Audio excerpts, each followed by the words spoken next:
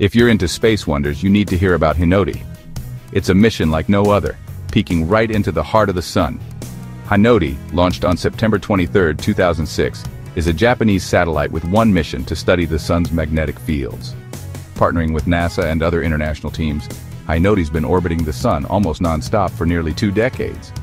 With its powerful trio of instruments, the Solar Optical Telescope, X-ray telescope, and extreme ultraviolet imaging spectrometer.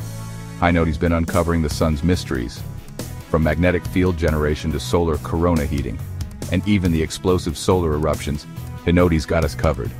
Some of its coolest discoveries?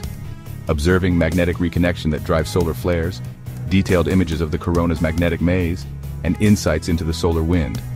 And guess what? Hinode's data zips over to Norway, and then to scientists worldwide, thanks to a global team effort.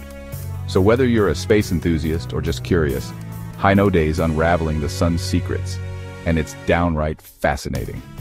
Want more cosmic wonders? Hit that like button.